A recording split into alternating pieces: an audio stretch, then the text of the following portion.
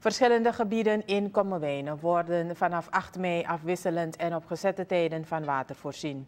De Surinaamse waterleidingmaatschappij heeft de distributie van water naar deze gebieden aangepast. Dit zegt Alwin Linger, onderdirecteur operations van de SWM. Volgens Linger wil de SWM op die manier het beschikbare water vanuit haar productiestations, de Meerzorg en Peperpot, efficiënt verdelen onder de bevolking. Deze aanpassing was noodzakelijk, geeft Linger aan.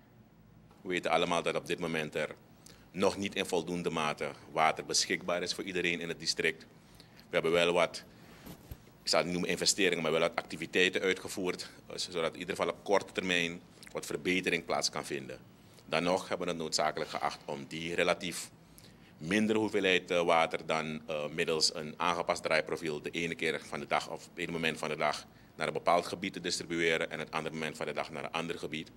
Waardoor in ieder geval men gedurende de tijd dat we naar een bepaald gebied uh, distribueren, mensen daar meer water hebben dan wanneer we zouden proberen om naar het hele gebied tegelijk te distribueren. Het is natuurlijk wat minder prettig als men nou net in het tijdsinterval valt waarin er uh, wat minder uh, geleverd wordt.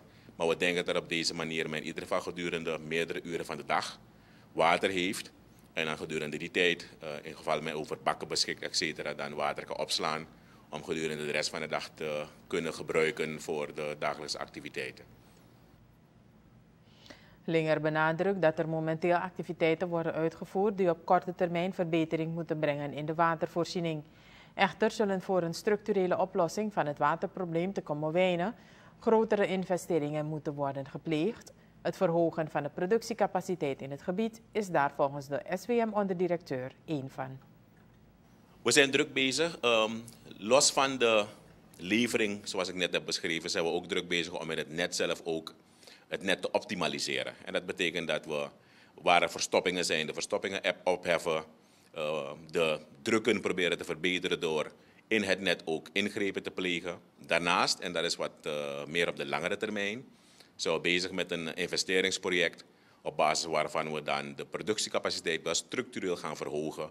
En dan moet u erover denken dat we dan, wanneer dat project is afgerond, en daar zijn we nu nog in de, uh, in de afrondende fase wat betreft de voorbereidingen. Wanneer het project is afgerond, dan komt er zo'n 500 kubieke meter per uur voor Kommerwijnen komt erbij.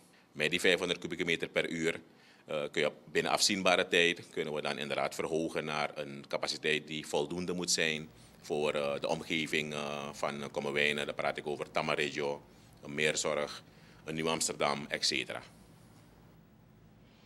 Onderdirecteur Operations van de SWM, Alwin Linger. Hij sprak over aangepaste waterdistributie naar verschillende gebieden in Kommerwijnen.